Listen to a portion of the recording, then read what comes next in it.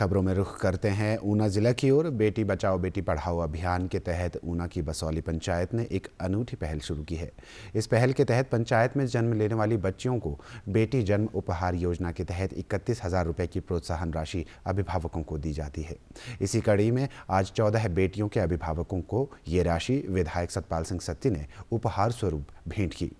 गौरतलब है कि सरकार व प्रशासन द्वारा चलाई जा रही विभिन्न योजनाओं के चलते ज़िले में शिशु लिंगानुपात में बेहद सुधार भी हुआ है। सतपाल सत्ती ने बसौली पंचायत द्वारा चलाई जा रही कल्याणकारी योजनाओं की प्रशंसा करते हुए अन्य पंचायतों से भी इसका अनुसरण करने का आह्वान किया, ताकि महिला लिंगानुपात को बढ़ाया जा सके।